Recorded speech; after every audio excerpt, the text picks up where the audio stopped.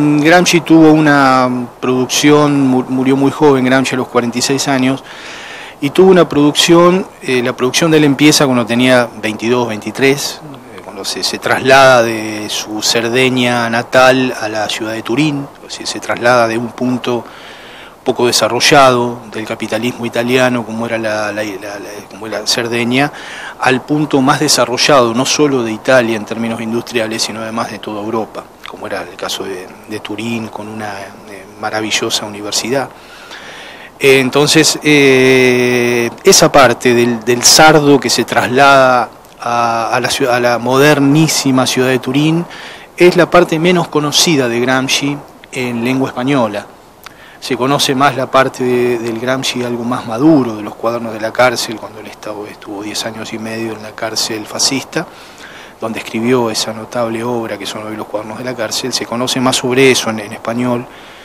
pero no sobre su etapa juvenil. Entonces, evidentemente todo esto está trayendo enormes novedades en el campo de la teoría política, de la teoría social, eh, cosa que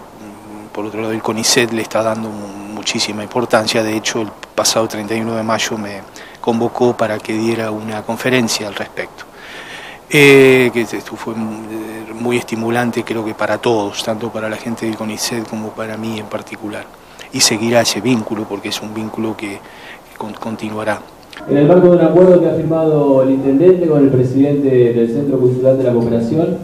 eh, en un convenio de cooperación mutua, de intercambio de actividades entre las instituciones, eh, es que hoy estamos presentando a este querido hijo de Salto, a Juan Jorge Barbero, y la presentación de este gran trabajo eh, que ha hecho en los últimos años. Bueno, él es licenciado en, en Sociología, egresado en la Facultad de Humanidades y Ciencias de la Educación de la Universidad Nacional de La Plata. Actualmente, en dicha universidad, desarrolla el doctorado de Ciencias Sociales, eh, con su proyecto de tesis La Historia Mundial y la relación nacional-internacional en los cuadernos de la cárcel de Antonio Gramsci. Eh, en el 2005 inicia su línea de investigación y traducción al castellano de la producción literaria de intelectuales del gramscismo italiano actual. La Oficina Cultural de la Embajada de Italia en función de sus méritos, ha financiado dos estadías de estudio